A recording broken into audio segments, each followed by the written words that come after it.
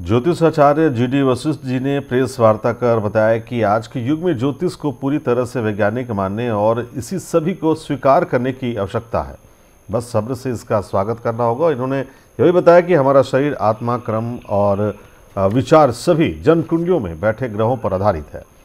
गुरु जी ने इतिहास रचते हुए आर्टिफिशियल इंटेलिजेंस एआई के साथ भविष्य को प्रकट करने वाले पहले एआई के साथ ज्योतिष सॉफ्टवेयर का उद्घाटन किया। इस नई पहल के माध्यम से जेडी विशिष्ट जी ने 15 साल की मेहनत और करोड़ों के निवेश के बाद एक ऐसा सॉफ्टवेयर तैयार किया जो चुटकियों में भविष्य और उनसे जुड़े उपाय की बात बता सकते हैं। व्हाट्सएप नंबरों पर पीडीएफ फ़ाइल के रूप में प्रदान की जाएगी, जो पूरी तरह से सुरक्षित है और यह ऐप किसी भी व्यक्ति को निजी जानकारी को किसी दूसरे के साथ साझा नहीं करती है।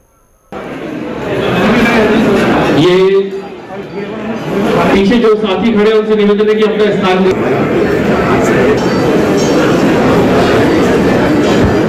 मैं बड़े सम्मान से मंच पर आए।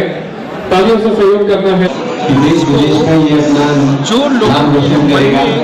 ये था कि हमारे यहाँ तो है। तो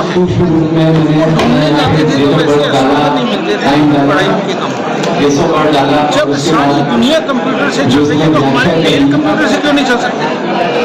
तो मैंने उन्हीं पेड़ों में से एक निकाल कर इसको थोड़ा सा आज के ज़माने के अनुसार किस तरह से ये ये मैंने आर्टिफिशियल या मशीन लर्निंग से प्रोसेस करते हुए मैंने ये तो डेफिनेटली काम एस्ट्रो कर तो साइ- अ, किसी AI को एस्ट्रो रिसर्च तो किसी भी टॉपिक पे की जा सकती है और आगे की जा सकती है आप इसके अंदर?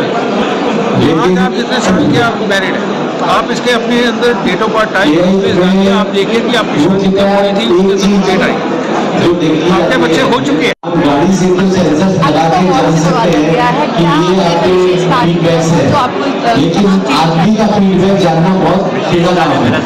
इसीलिए एआई को बनाना एआई एक्सप्लोरर को पूरी तरह से इम्प्लीमेंट करना बहुत डिफ़िकल्ट एक्सरसाइज है।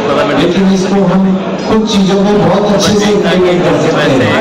जैसे कि अगर हैं कि रेन है फोरकास्टिंग है मान लीजिए वर्षा का अनुमान लगाना है तो इसमें अगर हम पुराने डेटा को डाल दें अच्छा। पुराना डेटा डाल दें और वहाँ पे वहाँ के स्टार्स की गणना भी डालें। तो उससे जो ए आई मशीन अपने आप आ है, करके सकता है कि